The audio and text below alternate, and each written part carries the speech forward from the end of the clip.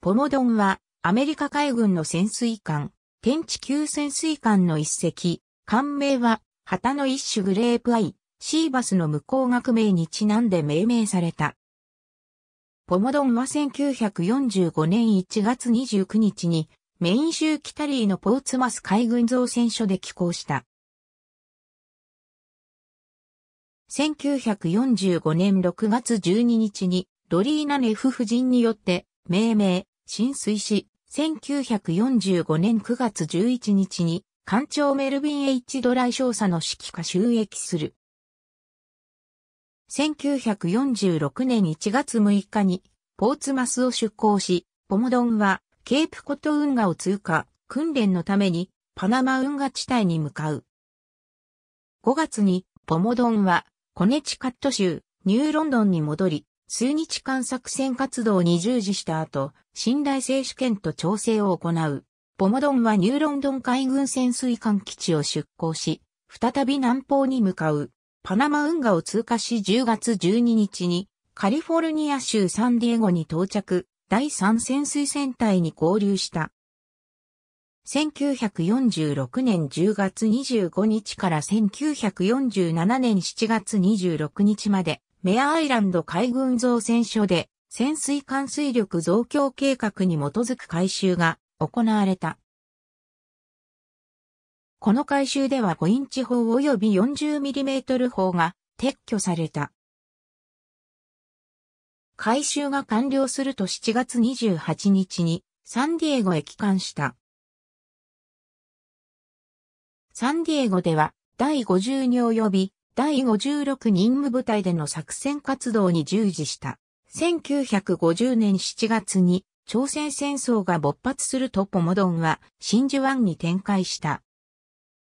1951年1月に、ポモドンは、メアアイランド海軍造船所で、再び改修が行われ、5月に艦隊に復帰、艦隊の中で最も高度に近代化された艦となった。1951年11月に、サンディエゴを出港し、サンディエゴ水域での訓練後、国連軍と共に、朝鮮半島水域に6ヶ月間の展開を行う。続く10年間にポモドンは6回の太平洋配備が行われる。1955年2月21日、サンフランシスコ海軍造船所でバッテリーを充電中に水素ガスの爆発事故を生じ、船体の損傷と同時に5名の兵士が死亡した。チャールズ・イー・ペインは消火活動と負傷者の救助活動で海軍殊勲章を受賞した。パスクアーレ・タラディーノは海軍海兵隊メダルを受賞した。彼は3度目の爆発の後、